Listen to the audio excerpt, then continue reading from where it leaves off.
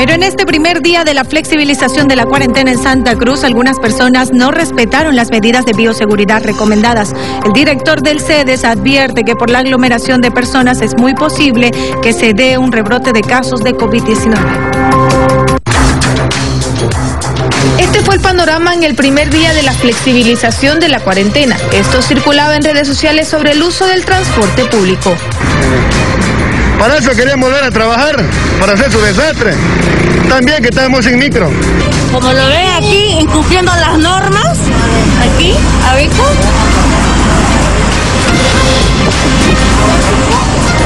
Para empezar, los asientos no son los adecuados porque no se puede desinfectar bien. Una situación que genera preocupación en las autoridades en salud, quienes piden que se cumplan las actividades con todas las medidas de bioseguridad. De cumplirse tal cual como lo venimos indicando, de que la responsabilidad es de todos, ¿no? Eh, en el ámbito del usuario que exige que se cumplan las medidas y el que da el servicio que debe exigir que se cumplan también las medidas. El director del CEDES asegura que si se rompe este equilibrio se podía llegar a una situación catastrófica.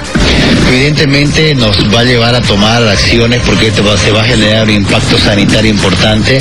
Vamos a tener que convocar nuevamente para que con el gobierno municipal local y el sector transporte se reevalúe la situación. Así que eh, hay que medir el impacto sanitario. Entonces eso es importante. Si no, debemos estar preparados para que sucedan dos cosas. En cualquier momento dar un paso para atrás. Entonces eso debe entender la población, la que exige servicio y la población que da el servicio.